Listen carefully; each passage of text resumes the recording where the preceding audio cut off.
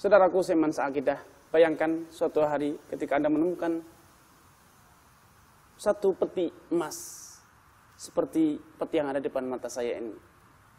Semuanya ketika Anda buka berisikan emas, berlian. Anda menemukan sebagian dari peninggalan karun. Emas yang melimpah, harta yang semuanya menakjubkan, membuat mata Anda terbelalak Hati Anda berbinar-binar. Kenapa? Satu peti emas. Anda temukan begitu saja. Tanpa susah, tanpa payah, tanpa harus bercucuran keringat. Namun, tahukah Anda bahwa seperti emas, apalah artinya? Seperti intan berlian, apalah gunanya? Kalau semuanya akan berujung kepada sengsara. Karenanya, cobalah Anda pikirkan, Anda renungkan, manakah yang lebih berharga seperti emas, ataukah hati Anda yang terus senantiasa terjaga kesuciannya. Silahkan Anda renungkan, pikirkan, manakah yang lebih berharga seperti emas, ataukah keluarga Anda yang Anda didik, Anda bangun moral, iman, akhlaknya. Karena kalaupun Anda telah mendapatkan seperti emas ini, Anda tidak akan pernah puas, Anda akan terus dibuai oleh mimpi. Anda aku mendapatkan peti yang kedua. Anda aku menemukan peti yang ketiga. Dan kalaupun Anda telah menemukan peti yang ketiga dan keempat, Anda akan berpikir, andai saya memiliki tambangnya. Kalaupun Anda telah memiliki tambangnya, Anda akan berpikir, andai saya memiliki yang kedua, ketiga, dan seterusnya tidak pernah ada hentinya. Tidak pernah ada puasnya. Tidak pernah ada batasnya ambisi untuk memiliki harta dunia. Laukana libni Adam wadiyani min dhahab labtaga lahu masalah. Apalah arti satu peti? Apalah arti satu kotak? Andai Allah Subhanahu wa taala memberikan petunjuk kepada Anda untuk menemukan dua lembak emas, bukan lagi satu peti. Apalah arti satu peti? Dua lembak emas Allah berikan kepada Anda. Allah tunjukkan kepada Anda semuanya hamparan emas. Anda pasti ambisi Anda, naluri keserakahan Anda tidak akan berhenti. Anda akan berpikir, Anda akan menemukan lembah yang ketiga. Laukana lebni Adam wadiyani min tahap. Andai manusia memiliki dua lembah emas, bukan hanya peti. Ini saya Anda akan berpikir saya Anda bermimpi, saya Anda terobsesi untuk memiliki lembah yang ketiga. Wama mal abnu jawab ibnu Adam illa turab. Dan tidak ada yang menghentikan ambisi Anda kecuali at-turab ketika al-maut telah tiba. Karena silahkan, tidak ada salahnya Anda menemukan peti emas. Tidak ada dosanya Anda menemukan lembah emas.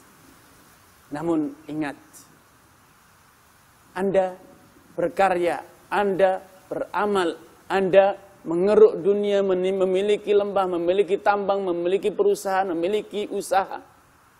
Hendaknya Anda berpikir, hendaknya Anda bertanya, untuk apa semuanya ini?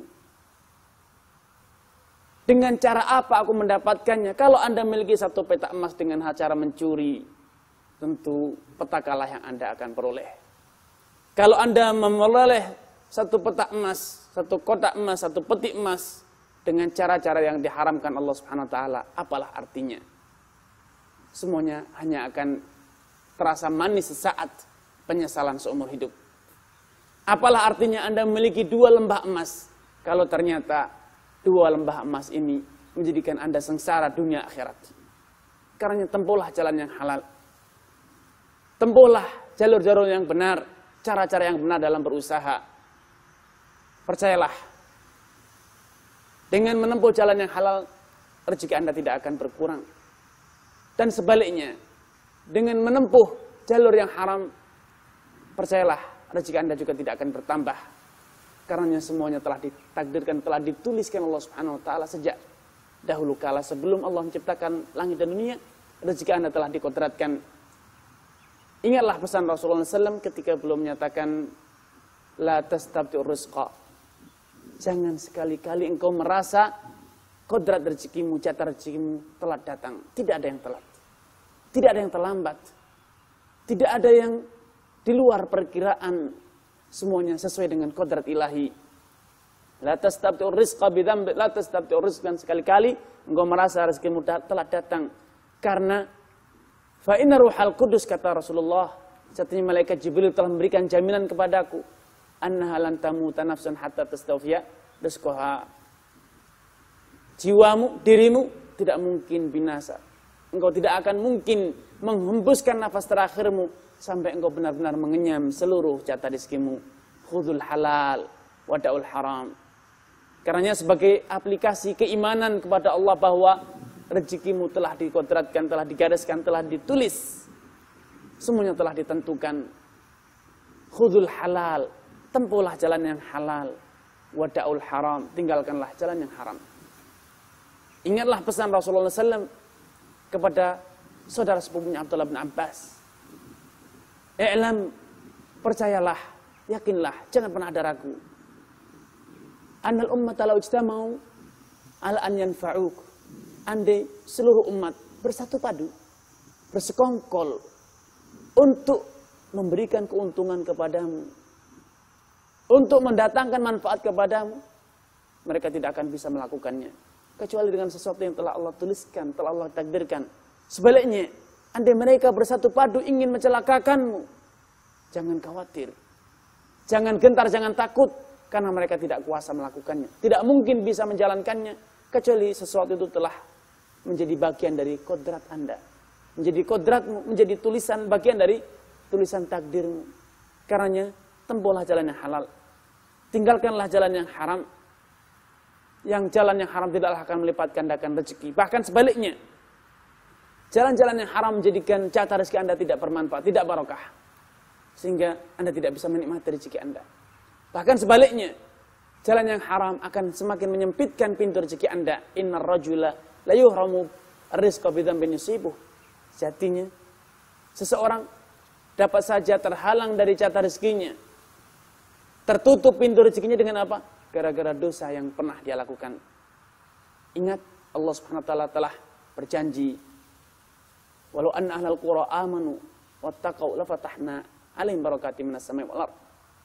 andai penduduk suatu negeri beriman dan bertakwa, niscaya Allah akan bukakan pintu-pintu dari langit. Pintu-pintu keberkahan dari langit dan juga pintu-pintu keberkahan dari bumi. La fatahna alaihim barakatim minas sama'i Akan kami bukakan pintu rezeki, pintu keberkahan Allah, pintu kemurahan Allah dari mana? Dari langit dan juga dari bumi. Walakin kadzabu. Namun kembali lagi kepada anda percaya atau tidak. Anda percaya atau tidak. Beriman atau tidak. Atau mungkin Anda ragu, bimbang. Tidak sepenuhnya percaya. Sehingga apa yang terjadi? Kadzabu fa'akhadnahu bimakanu yaksibun. Mereka berdusta, mereka mendustakan, mereka meragukan, maka sengsaralah yang terjadi. Kemiskinanlah yang terjadi. Keserakahanlah yang merajalela. Ambisi, menghalalkan segala macam cara itulah yang akhirnya sekarang menjadi metode, menjadi jalur, menjadi jalan orang untuk mencari rezeki, menghalalkan segala macam cara. Sehingga rezeki bukan semakin lapang, semakin sulit, semakin sempit, semakin susah. Namun percayalah, sebagai seorang mukmin, sebagai orang muslim, Anda pasti percaya bahwa ketika Anda menempuh jalan yang lurus, jalan yang halal, rezeki Anda tidak akan berpindah, tidak akan berkurang, rezeki Anda akan tetap dapat Anda nikmati. Tidak akan ada yang kuasa merebut sedikit pun jatah rezeki Anda. Ma yaftahillahu min rahmatin fala mumsikalah wa ma yumsik fala mursilalahu min ba'dih. Ingat, Allah telah memberikan jaminan kepada Anda, memberikan kepastian kepada Anda apa pun jatah Allah Subhanahu wa taala berupa karunia rahmat, nikmat yang Allah berikan kepada Anda tidak akan ada kekuatan yang kuasa menghentikannya. Tidak akan ada kekuatan yang mampu menahannya. Namun sebaliknya, kalau Allah telah menghendaki untuk menghentikan, untuk menahan, untuk menghalangi jatah rezeki, menghalangi kerahmatan, kemurahannya, tidak akan ada yang kuasa membukakan pintu kemurahan tersebut. Tidak akan ada yang kuasa memudahkan sesuatu yang telah Allah buat jadikan sulit. Tidak akan ada yang bisa melapangkan sesuatu yang telah Allah sempitkan. Karena percayalah, rizki Anda ada dengan Anda. Rizki Anda tidak akan berpaling dari Anda. Rizki Anda tidak akan ada yang merebutnya. Tempuhlah khudul halal, wada'ul haram. Tempuhlah jalan yang halal dan tinggalkanlah jalan haram. Percaya atau tidak, buktikan janji kebenaran janji Rasulullah SAW. Wassalamualaikum warahmatullahi wabarakatuh.